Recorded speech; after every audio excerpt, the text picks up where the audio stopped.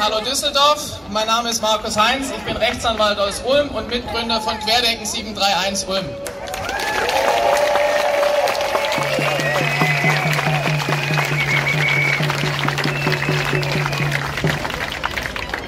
Ähm, wie bin ich zu der ganzen Sache gekommen? Ich wurde kürzlich von der Presse gefragt, was so das einschneidendste Erlebnis war. Und weil ich hier gerade auch an einem Fluss bin, mein einschneidendes Erlebnis, wo ich wirklich gesagt habe, jetzt reicht's, ist, als man in Bayern am Donauufer einen alten Mann von der Polizei weggeschickt hat, um den rum niemand saß, aufgrund von angeblichem Infektionsschutz. Da war zehn Meter rum niemand. Ich habe dem Mann dann geholfen und gesagt, so jetzt reicht's.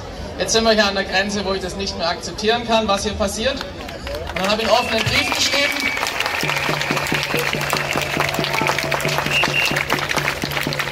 An etwa 1000 Abgeordnete.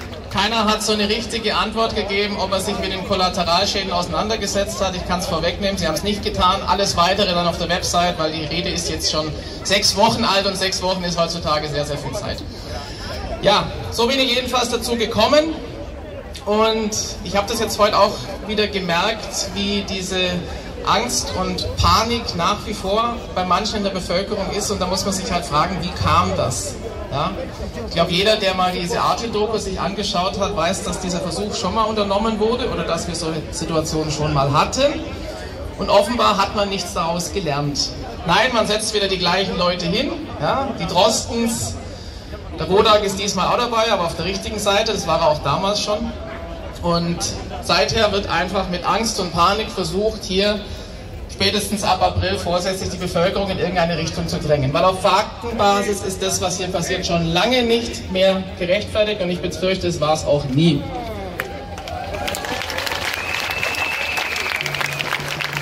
Man muss das auch alles mal in eine Relation setzen.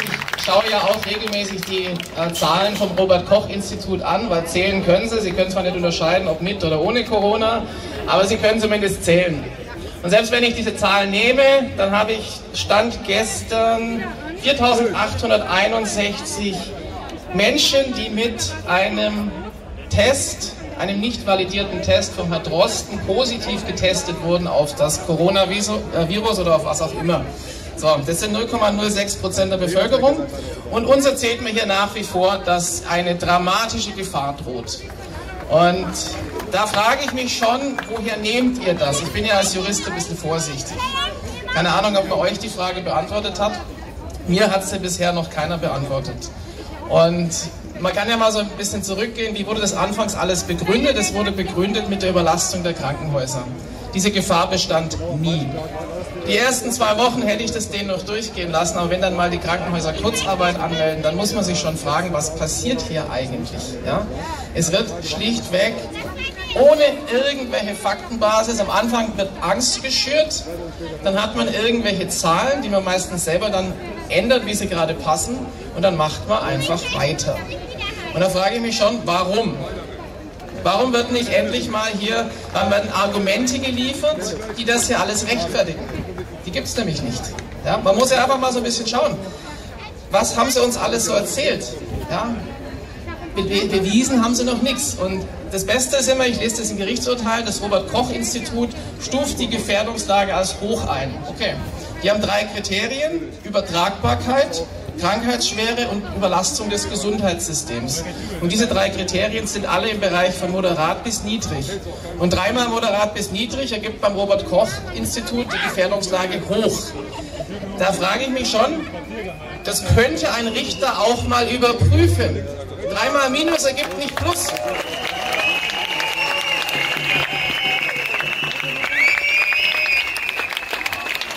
Da muss er nicht Medizin der Einfach nur noch sagt, ich verlasse mich blind auf alles, was das Robert-Koch-Institut sagt, dann hat er seinen Job verfehlt. Und ähm, wenn man die Zahlen mal in eine Relation setzt, ja, wir werden ja hier mal angegriffen, dass uns das, ähm, die Gesundheit unserer Mitmenschen teilweise egal ist. Das ist nicht der Fall, das Gegenteil ist der Fall.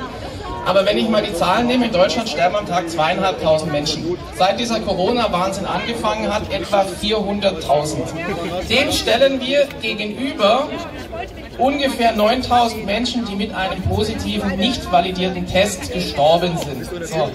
Und da frage ich mich jetzt, wo ist hier das Verhältnis? Wo? Ich sehe es nicht, mir konnte es noch keiner erklären. Und es wird ja immer dreister.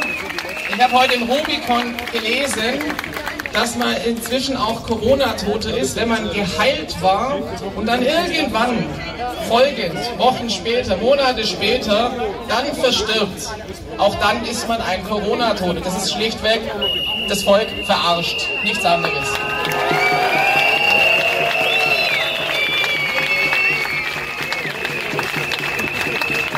Die Zahlen werden natürlich nie auf Null gehen können, weil wir alleine schon wegen der Fehlerwahrscheinlichkeit bei einer geringen Durchseuchung immer einige tausend Fehlprognosen haben, ja, falsch positive, wegen der Spezifizität. Ja, und deswegen können wir diesen Zustand dauerhaft momentan aufrechterhalten. Und das ist was, da sollten wesentlich mehr Menschen sich dagegen wehren. Ich glaube, es werden mehr. Aber das ist ein ganz wichtiges Signal, dass wir hier alle dranbleiben, weil die wollen das durchziehen. Die werden das durchziehen, wenn wir nicht dagegen kämpfen auf jeder legalen Ebene und das sollten wir alle gemeinsam tun.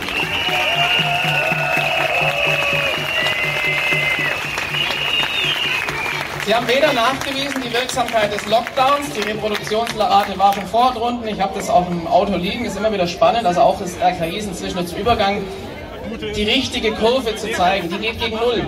Ja? Haben wir eine erhöhte Gesamtsterblichkeit? Nicht bewiesen. Wirksamkeit der Masken, ich meine, das habe ich heute auch schon wieder diskutiert. Da steht ja sogar drauf, dass sie nichts helfen. Ähm, trotzdem wird uns ein Maulkorb verpasst, also für diejenigen, die mitmachen. Und Kontaktbeschränkungen, Wirksamkeit ist auch nicht wirklich belegt. Also auf gut Deutsch, man erzählt uns hier irgendwas, man muss als Staat keine Belege mehr bringen. Man kann auch drei Monate nach dem Anfang von dem Ganzen oder vier Monate inzwischen immer noch sagen, wir vertrauen blind auf das RKI, die sagen hoch und solange die hoch sagen, machen wir den ganzen Scheiß weiter. Und die werden dauerhaft hoch sagen. Was, habt, was haltet ihr davon?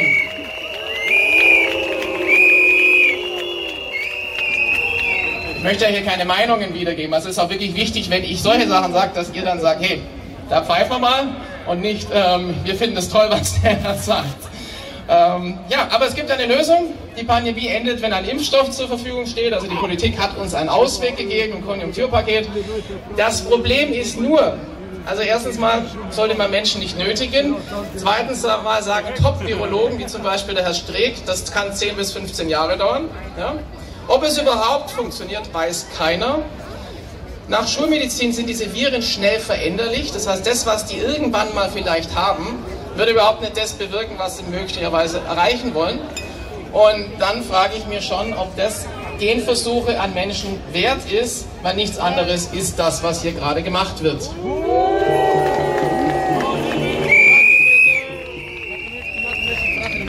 Und selbst die Entwickler sagen, wir haben momentan zu wenig Infizierte. Ja, ich weiß nicht, ob man dann die Zahlen mal künstlich hochpushen möchte, aber es gibt in vielen Ländern, die, ich glaube England war es und auch China, die haben zu wenig Infizierte, um das überhaupt noch zu testen. Und wie will man dann sagen, die Pandemie endet, und das heißt, die Einschränkungen enden, wenn wir einen Impfstoff haben? Das heißt einfach, die machen das weiter. Und das müssen wir verhindern. Das werden wir auch verhindern.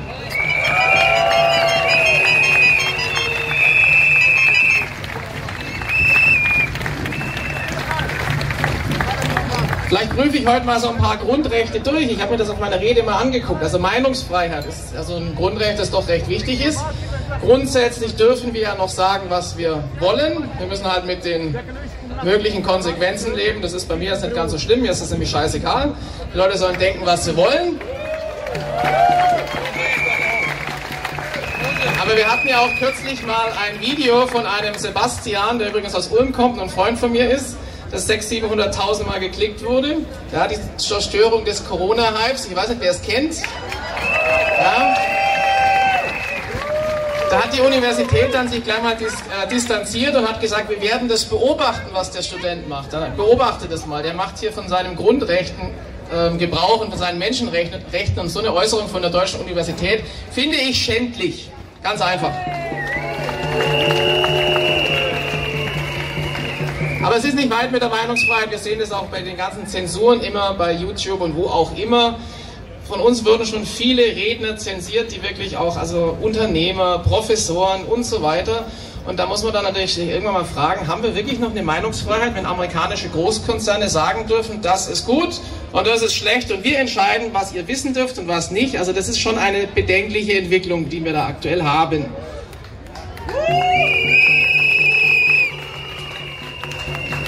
Aber zum Glück gibt es noch genug Leute, die sich trauen, auch ihre Meinung zu sagen. Und ich kann euch nur dazu ermutigen, ihr werdet so viele positive Erfahrungen machen, wie ihr in eurem Leben nie wieder macht. Es gibt ein paar Idioten, das gibt's. Die werden euch was auch immer heißen. Aber die Masse der Menschen, mit denen ihr zu tun habt, die wird euch für das, was ihr jetzt hier tut, was wir alle tun, danken. Und ihr werdet euch irgendwann auch selbst dafür danken. Ganz wichtig, hier eine positive Botschaft.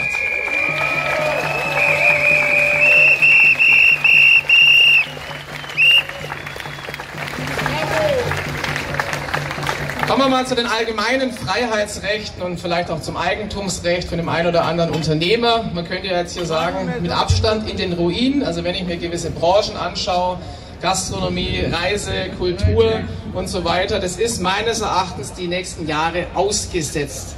Ich weiß nicht, ob es hier ein größeres Volksfest gibt. Ich habe die Münchner mal gefragt, wann sie glauben, wann es wieder eine Wiesen gibt oder ein Schwörmontag in Ulm. Ich glaube, das dauert noch relativ lange. Und da frage ich mich halt auch, Liebe Unternehmer, warum erhebt ihr nicht endlich mal eure Stimme? Das gibt viel, viel zu wenige.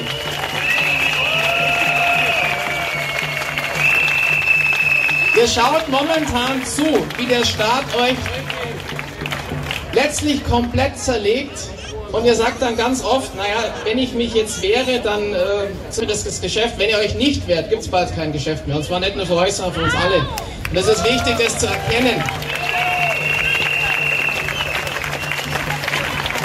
Und es ist auch wichtig, auf Kunden offen zuzugehen. Wenn das erste Wort in einem Geschäft ist, ein geschrieenes Maske, danke, ich komme, ich beehre Sie nicht wieder, Ihnen auch einen schönen Tag und ich kaufe künftig woanders. Das müssen die Leute erstmal verstehen.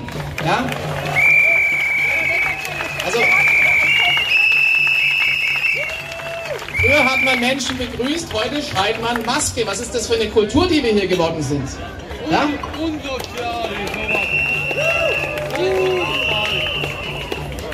Ja, und auch die Unternehmer müssen halt sehen, wenn das der Weg ist, dass man alle Menschen per se diskriminiert, die das teilweise auch gesundheitlich nicht können oder aus vielen anderen Gründen, die werden nicht mehr bei euch einkaufen, die gehen dann zu Amazon. Und Jeff Bezos hat dann demnächst halt 200 Milliarden. Und all diejenigen, die momentan profitieren, das sind die ganz, ganz, ganz Großen, die lachen sich einen, weil die euch alle, alle Unternehmen, die momentan in Gefahr sind, irgendwann billig aufkaufen. Und da freuen die sich jetzt schon drauf. Die warten nur, bis die Lage dann mal schlecht genug wird. Die haben Cash ohne Ende. Und deswegen muss man verstehen, dass wir hier alle zusammenhalten müssen. Und dass eben nicht jeder Verband sagt, ja, wir machen das jetzt alleine. Nee, mit denen wollen wir nicht. Das ist uns zu gefährlich. Leute, entweder wir machen das alle oder es wird nichts bringen. Also lasst es uns gemeinsam machen.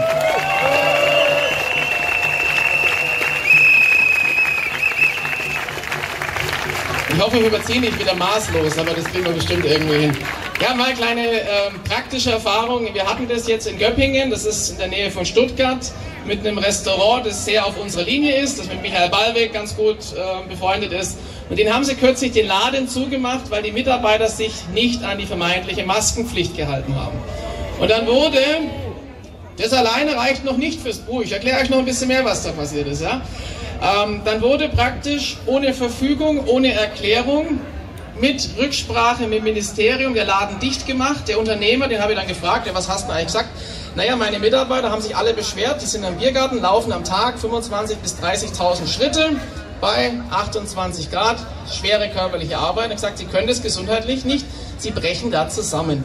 Also hat er gesagt, wir können es unseren Mitarbeitern nicht zumuten, aus gesundheitlichen Gründen. Deswegen haben sie keine Maske zu tragen, ja, nachweisbar. Und dann hat er ein Hinweisschild aufgeschrieben an seinen Laden, wenn sie sich halt deswegen äh, unsicher fühlen, müssen sie bitte woanders hingehen. Ja? Und das war ein sehr, sehr gutes Konzept. Also er hat es durchargumentiert, hat sich völlig an die Verordnung gehalten.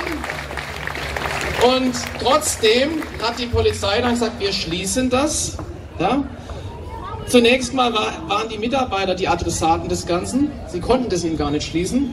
Dann sind sie reingegangen, eine Mitarbeiterin wurde von der Polizei genötigt. Ich will jetzt nicht grundsätzlich gegen die Polizei hetzen, nur dass wir uns da richtig verstehen. Ja? Aber wenn ein Polizist einer Mitarbeiterin sagt, sie ziehen jetzt sofort eine Maske auf. Ja, der Mann hat hier eine Pistole. Das muss man sich immer wieder so ein bisschen vor Augen führen. Dann ist das ganz einfach was? Das ist Nötigung. Ich kann niemanden mit nichts dazu zwingen, eine Maske aufzuziehen. Das geht nicht. Ich kann eine Anzeige aufnehmen. Können wir machen. Dann können wir das über Strafrecht oder über das Ordnungswidrigkeitenrecht klären. Aber sowas kann ich nicht machen. Ich kann doch nicht einen Bescheid reinschreiben, wohl wissentlich, dass es falsch ist. Fünf Jahre Gefängnis. Das stimmt auch nicht. Es wird hier mit ganz fiesen Methoden gekämpft. Und das geht so weit, dass die Ärzte dann, wenn die Mitarbeiter zum Arzt gehen, sagen, ich habe hier wirklich riesige Probleme, mich haut es praktisch jeden Tag um, ich habe Schwindel, ich habe Kopfschmerzen, ich verliere sonst meinen Job, dann sagen viele Ärzte, das ist mir egal, das suchen sie sich anderen, ich gebe ihnen keinen Attest. Und wisst ihr, was das ist? Das ist unterlassene Hilfeleistung, nichts anderes. Und das ist eine Sache für die Staatsanwaltschaft.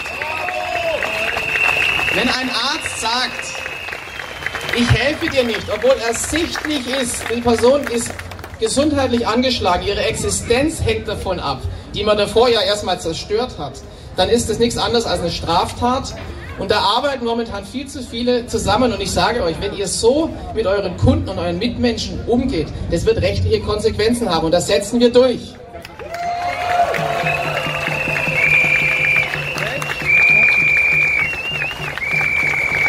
Spannende an der Sache war auch, dass die Behörde noch nicht einmal in der Lage war, die richtige Verordnung zu zitieren. Das heißt, die wussten gar nicht, auf was sie sich berufen. Wie sollten dann der Unternehmer verstehen, wenn die Behörde selber nicht weiß, was aktuell geltendes Unrecht ist? Woher soll das der Unternehmer wissen? Ja? Und das zeigt ja eigentlich schon diese Verunsicherung. Die war am Anfang medizinisch, aber die wird ganz, ganz klar jetzt auch rechtlich gemacht. Keiner weiß, was er noch darf oder nicht darf jetzt mal von ganz wenigen, die das vielleicht studiert haben, abgesehen. Und diese Unsicherheit ist eines Rechtsstaats nicht würdig. Und damit kriegt man im Übrigen auch praktisch jeden Bußgeldbescheid äh, tot, weil es unbestimmt ist. Gut, aber Maskenpflicht ist ja auch wieder so ein Thema. Wann wir sie eingeführt haben, haben wir jetzt schon gesagt. Die Maskenpflicht spaltet momentan ein Stück weit Deutschland und sie führt dazu, dass wirklich eine massive Diskriminierung stattfindet. Ich meine es nicht von Leuten wie mir, ja, ich meine von Leuten, die wirklich da richtig massive gesundheitliche Probleme haben. Die werden aus Läden geprügelt, die werden von der öffentlichen Versorgung abge, ähm, abgeschottet ich kriege da Fälle auf den Tisch. Es ist wirklich katastrophal, was hier passiert. Was Kindern in der Schule angetan wird, von Lehrern teilweise, das ist, da reicht noch nicht mehr mehr Strafrecht. Es gibt in keinem deutschen Bundesland eine Maskenpflicht in Schule. Und wer das jetzt bestreitet, die, irgendein Kollege von mir, der soll mir das bitte zeigen, es gibt keine. Und trotzdem gibt es hundertfach und tausendfach Lehrer, die das mit aller Gewalt durchsetzen unter Berufung auf ihr vermeintliches Hausrecht, das sie nicht haben. Und es braucht in aller Regel erstmal einen Rechtsanwalt, der sagt, ihr habt überhaupt keine Rechtsgrundlage, was macht ihr hier eigentlich? Dann wird teilweise gesagt, wir machen das trotzdem, es ist uns egal. Hey, wir sind ein Rechtsstaat oder sowas in der Art. Seit wann kann sich jeder seine eigenen Regeln machen?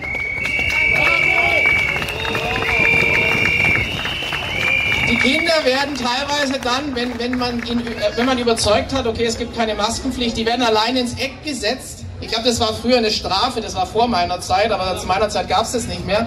Da kommen Lehrer, die sagen, okay, das Kind wird jetzt komplett bewacht. Also wenn es auf die Toilette will, dann laufen wir dem hinterher. Ja? Es wird an der Schule abgeholt, wie beim Gefängniswärter. Und das macht man mit kleinen Kindern. Ich rede hier nicht von 18-Jährigen äh, in der 13. Klasse. Das passiert mit Schulkindern, mit 6, 7, 8-Jährigen. Die sind fertig, die werden fertig gemacht, die Eltern wissen nicht mehr weiter. Und das soll ein Rechtsstaat sein. Das ist das, was die Politik hier verbricht. Das ist ein Verbrechen, nichts anderes.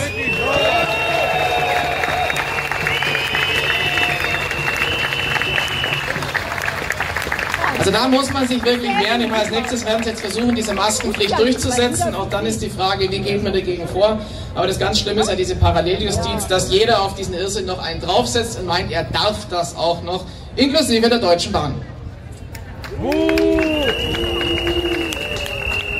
Also falls ihr da mal ein paar Mandate habt, ich habe einen Kollegen in Köln, der macht jetzt momentan für uns diese NRW-Geschichten, Bußgeldbescheide, Strafrecht, auch so Maskengeschichte, das wäre der Herr Dirk Sattelmeier aus Köln, der hat sich da bereit dazu erklärt. Also bitte schreibt nicht mich an, ich kann das nicht bearbeiten. Bitte guckt erstmal, ob jemand anders findet. Ja? Also ich kenne das NRW-Recht jetzt auch nicht so gut. Also da wirklich, da muss man sich wehren und legt gegen jeden Bußgeldbescheid, legt Einspruch ein, die sind alle rechtswidrig. Bin ich fest davon überzeugt.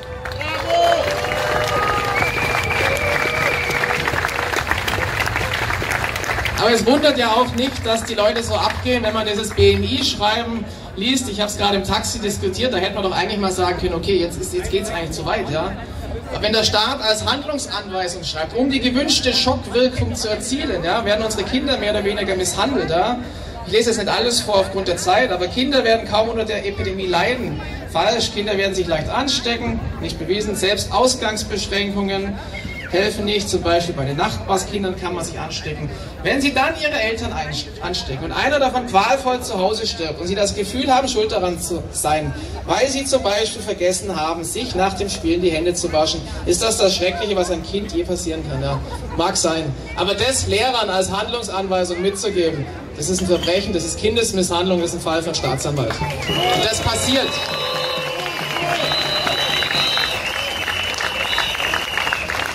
Das machen die selbst dann, wenn ich sie vorher davor warne. Wenn ich sage, Leute, das dürft ihr nicht. Haltet euch von den Kindern fern. Wenn der Lehrer sagt, er möchte dann nicht mehr schaffen, dann soll er zu Hause bleiben. Das ist mir egal. Ich kann mich nicht an achtjährigen Kindern vergehen. Und schon dreimal, wenn die Schulämter ausdrücklich und mehrfach sagen, ihr dürft das nicht. Und sie machen es trotzdem.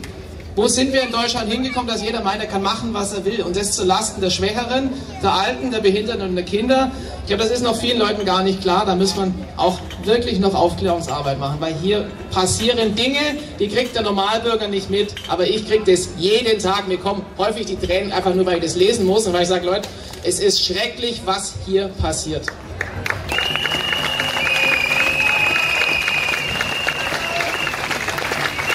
Und all das bewirkt diese nutzlose Maske, wo der Herr Drosten selber gesagt hat, damit hält man das nicht auf. Ja, es steht auch drauf. Man hat sich dann gerechtfertigt, ja, man hat uns nur angelogen, weil wir nicht genug hatten. Ich weiß nicht, seit wann es in Ordnung ist, dass die Regierung das eigene Volk so dreist anlügt. Ich meine, warum soll ich den Leuten heute noch glauben, wenn sie vor drei Monaten gelogen haben? Es ist einfach... Warum? Und sie erreichen damit auch was, ob sie das jetzt wollen oder nicht, das ist weitere Teilung der Gesellschaft. Ja? Teile und herrsche. Divide et impera.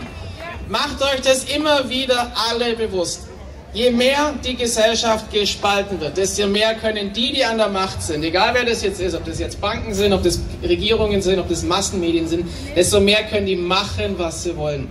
Es ist egal, ob das jetzt links, rechts ist, schwarz, weiß, arm, reich, alt, gesund, Düsseldorf, Köln, völlig egal. Jede Art dieser Spaltung macht uns alle schwächer und macht die stärker. Und da muss man höllisch aufpassen. Und ich glaube, das ist inzwischen vielen Leuten klar geworden, dass dieses alte Spiel, gerade links, rechts, Mitte, dass das so nicht mehr funktionieren kann, weil es nur einen Zweck hat. Euch allen den Mund zu verbieten, euch alle zu spalten. Und das werden wir nicht zulassen. Wir halten zusammen.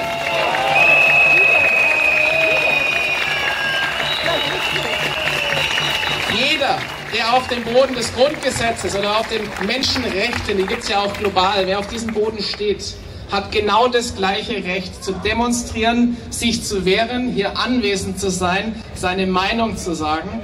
Und es ist ganz wichtig, das zu verstehen. Wenn ihr eine Botschaft von mir mitnimmt, dann nehmt die mit, das ist die wichtigste.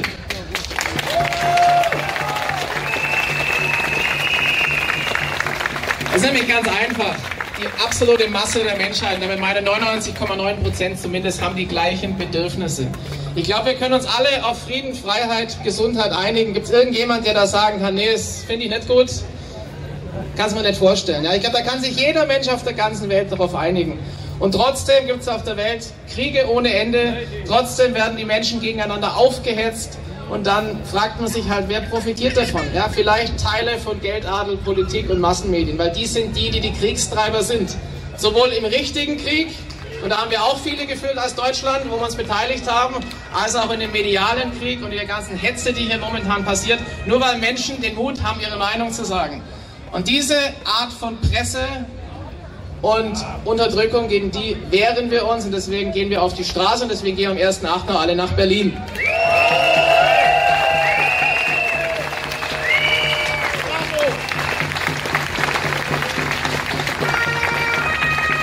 Bisschen Rast zu Recht oder Unrecht oder wie man es nennen möchte. Ja, also wir haben ja inzwischen relativ viele Demonstrationen in Deutschland, wo immer noch Maskenpflicht herrscht. Wir versuchen die jetzt auflaufen zu lassen. Das Bundesverfassungsgericht segnet das alles ab.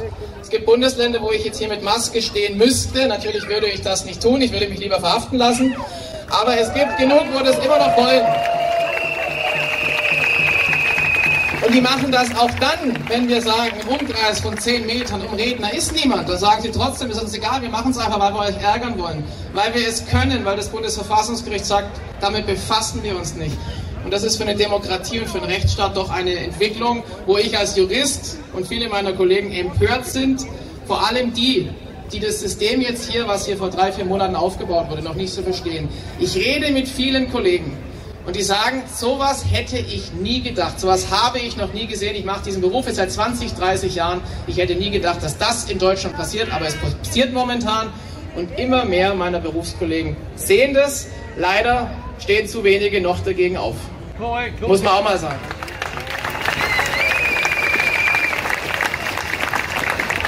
Aber noch mal ganz kurz zu unserer Justiz und zu unserem Bundesverfassungsgericht. Der Präsident hat mir ja kürzlich mal einen Beschluss geschickt, der sinngemäß übersetzt heißt, wenn die Willkür nicht groß genug ist oder die staatlichen Maßnahmen, die Einschränkungen nicht reichen, also zum Beispiel Maulkorbpflicht für Redner auf einer Demo, dann gucken wir uns das gar nicht an. Wir prüfen das gar nicht. Wir gucken uns die 30 Seiten, die du vorträgst, gar nicht an. Das ist uns schlicht egal. Das ist uns nicht wichtig genug. Das ist ein neuer Tiefpunkt in der Verfassungsrechtsprechung in Deutschland. Und wenn ich mir anschaue, woher der Herr Haberbart so kommt, überrascht es mich nicht mehr so ganz. Ich weiß nicht, wer den Mann kennt. Ich kann euch mal kurz ein paar Fakten geben. War im Bundestag mit der CDU, war Honorarprofessor in Heidelberg, ist er relativ kurzfristig geworden, hatte noch ein sehr hohes Einkommen nebenher mit seiner Kanzlei, obwohl er eigentlich Bundestagsabgeordneter war. Also ich hätte das jetzt nicht, wenn ich früher was anderes mache oder ach. Aber macht ja nichts, hat super Connections zur Automobilindustrie. Also der Mann war von Anfang an umstritten, geht mit Merkel auf Wahlkampf und jetzt ist er der Präsident unseres höchsten Gerichts und soll über diese Politik urteilen. Ich will jetzt niemand was unterstellen, aber der Interessenskonflikt, der schreit zum Himmel.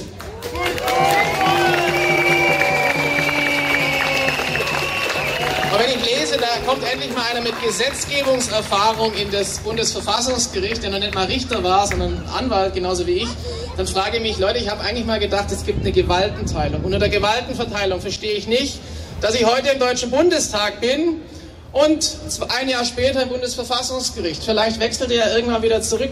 Ich meine, das macht man auch in der Pharmaindustrie und wir sehen, wohin uns das alles geführt hat. Dass das in der Justiz jetzt passiert, finde ich bedenklich. Finde ich bedenklich.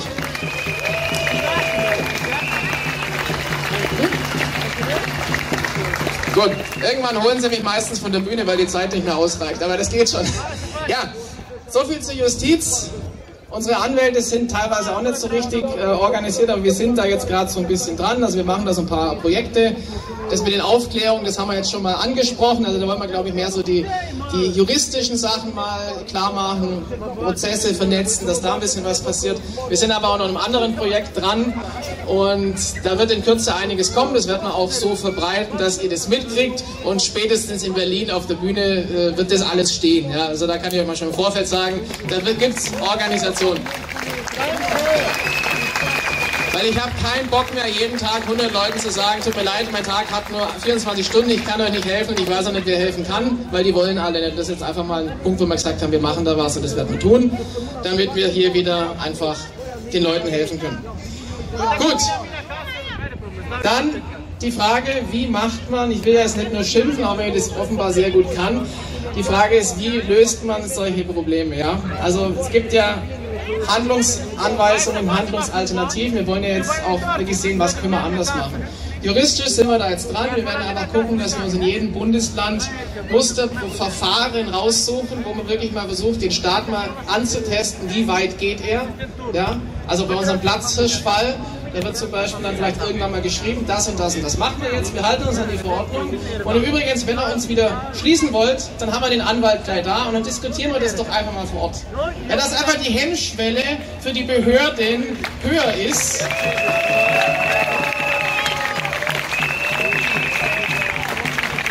Weil auf in Anführungsstriche kleine Mitarbeiter einhacken, das ist relativ einfach. Bei Juristen ist es ein bisschen schwieriger. Da dreht sich nämlich die Gewaltspirale oder die, die Spirale dessen, der wir ihn ernst nimmt, doch ein wenig in unsere Richtung. Ja? Und das hat man heute auch wieder gemerkt. Und das sollte schon klar sein. Also wir müssen uns an, an Regeln halten. Das ist das, was wir juristisch machen können. Demonstrationen sind wir ja momentan auch sehr, sehr gut dabei, uns zu vernetzen. Also nicht nur der Herr Söder ist auf die nächste Pandemie vorbereitet, sondern wir sind auch auf den Herr Söder vorbereitet.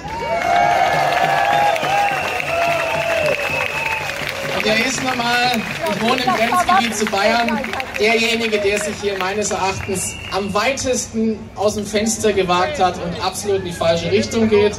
Und ich hoffe, er kriegt die Quittung bei der nächsten Wahl. Wenn ich nämlich höre, wir haben hier ja Veranstaltungsbranche, die momentan vom deutschen Staat zerstört wird. Und wenn ich höre vom Herrn Söder, ähm, Sie können ja zu Hause mit Ihrer Partnerin tanzen, ja, in Bezug auf die Veranstaltungsbranche. Da sage ich, Herr Söder, machen Sie das doch. Bleiben Sie zu Hause, tanzen Sie so lange, wie Sie wollen, aber treten Sie zurück, wir brauchen Sie nicht mehr. Und solche Sachen brauchen wir noch gleich gar nicht.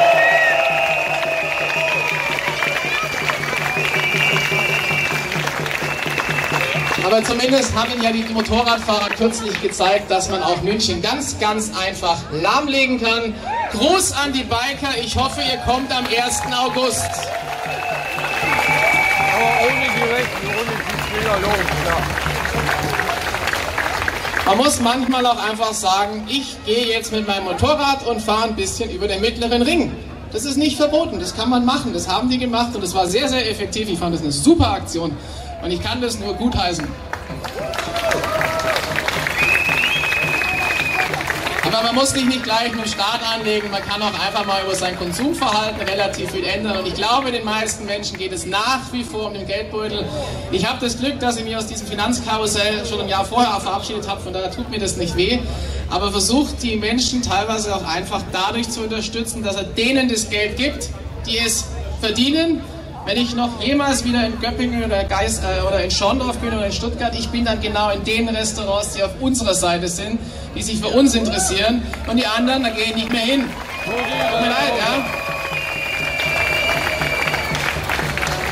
Wenn man mich mit Maske begrüßt, drehe ich um und das kann ich euch auch nur raten. Also bitte überlegt, wer kriegt euer Geld und seid auch nicht zu faul. Ich spende, ich spende nicht an PayPal, ich spende an einem Bankkonto, weil das eine werden sie uns sperren.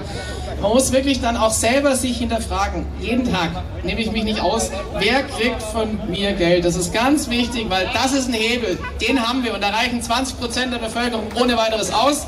Gut, die Zeit rennt. Ich komme zum Schluss, ich bin schon auf der letzten Seite. Macht Werbung untereinander, macht es im Briefkasten, den kann man nicht zensieren. Ja? Wir müssen gucken, dass wir diese psychologische Spirale auch durchbrechen. Je mehr Leute hier ein positives Signal senden und Mut zeigen, diese neue Realität nicht zu akzeptieren, desto weniger wird sie kommen. Da müssen wir alle zusammenhalten. Der wichtigste Tag dafür wird der 1. August sein. Das weiß ich heute schon, dass es mein schönster Geburtstag sein wird, den ich je hatte und auch der größte. Von daher lasst uns alle zum Tag der Freiheit nach Berlin gehen. Lasst uns gemeinsam alle miteinander in Deutschland auf der Welt für Einigkeit, für Recht und Freiheit einstehen. Das ist meine Botschaft. Ich hoffe, ihr kommt alle. Wir sehen uns wieder. Danke, Düsseldorf. Bleib gleich mal auf der Bühne, Markus. Bleib mal gleich, bleib, bleib, bleib, bleib gleich auf der Bühne. Holger, drehst du mich mal ein bisschen runter? Ich habe ein bisschen mehr Bums in der Stimme. So. Okay, wir haben ja gerade schon freundlicherweise ein bisschen gelästert wegen dem T-Shirt. Und deswegen haben wir uns gedacht, nimmst du eins aus Dortmund hier von Düsseldorf mit nach Ulm zurück. Und nochmal einen Applaus für den Markus Heinz. Hunderte von Kilometern gefahren, um heute hier zu sprechen. Und wir müssen leider auf die Zeituhr